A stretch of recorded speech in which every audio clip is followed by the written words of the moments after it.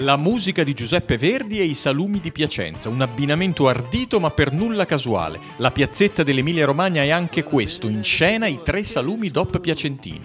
Coppa, salame e pancetta e ribadiamo subito che siamo l'unica provincia in tutta Europa ad essere detentori di tre DOP nel settore delle salumerie. Una missione chiara soprattutto verso i più giovani, far capire come riconoscere un salume di qualità. È necessario fare delle degustazioni guidate per capire quando un salume è al top della sua valorizzazione di tutte le sue caratteristiche intrinseche.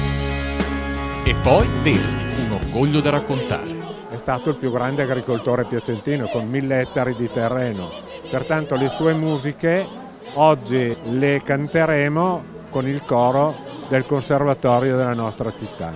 È un'esperienza dove noi cerchiamo di far fare bella figura oltre che a Piacenza a tutta la regione.